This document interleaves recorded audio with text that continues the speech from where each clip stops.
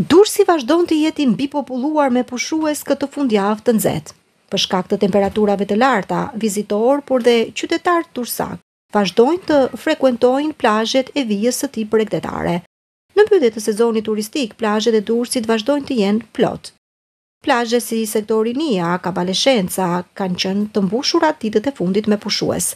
Kamera e televizionit Adria Net përcjell imazhet e marra gjatë kësaj të premte në këto plazhe, ku shihet se ato janë të mbushura plot me pushues.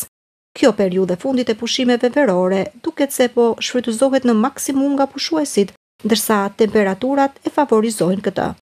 Pushues që marrin rreze dielli dhe relaksohen në këto ditë të nxehta vere.